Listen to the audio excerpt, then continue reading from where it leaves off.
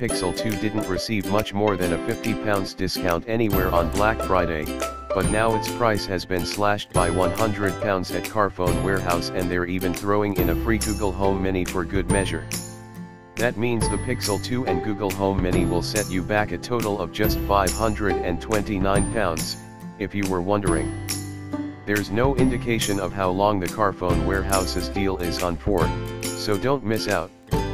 Google Pixel 2 Review Google's inevitable iPhone 8 repost has arrived. Following the success of the iPhone 7 beating Pixel last year, it was obvious Google would once again attempt to trump Apple's efforts with a barrage of refinements and hardware upgrades. And again, the Pixel 2 is primed to make the same hard-hitting statement this year, there's still a spot for Android in your pocket. Google Pixel 2 Review, what you need to know. The Pixel 2 is Google's latest Android flagship. The successor to last year's excellent Pixel handset, this is the smartphone that's primed to set the benchmark for Android phones for the next 12 months. As the smaller of the two new Pixels, the Pixel 2 is a 5IN smartphone with an AMOLED screen and a 12-megapixel rear camera that, according to the folks at Pixelmark, is the best in its class.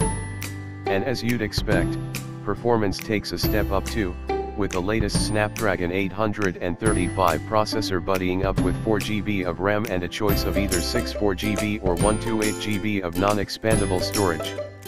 Google Pixel 2 Review, Price and Competition at £629 for the 64GB model and £729 for the 128GB variant, Google's second Pixel branded smartphone doesn't come cheap.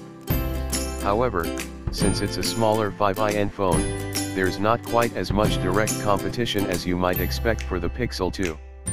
You have the iPhone 8, which has a 4.7 in screen and costs £699, the Sony Xperia XZ1 Compact with a 4.6 in display for £499 and that's about it for the big manufacturers.